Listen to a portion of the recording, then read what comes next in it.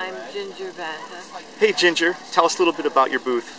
We have we make toffee, we make fudge, and we make fresh cinnamon rolls. Everything is made fresh for the market.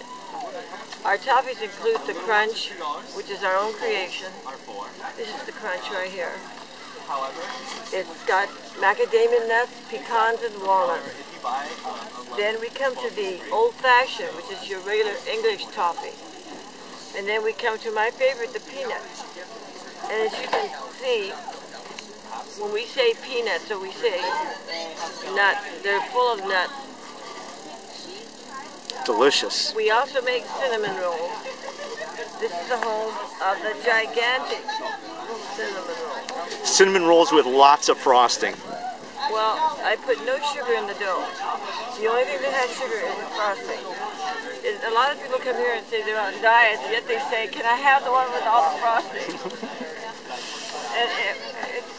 and it, it's good. They ask me, how about should I eat candy? Well, everything is good in moderation. That's right. So if somebody's watching the video and uh, they can't make it to the farmer's market, but they want to get some of your toffee, what is your website address? Our website address is what? BantaToffee.com. bantatoffee.com. Thank you very much. You're welcome. Thank you.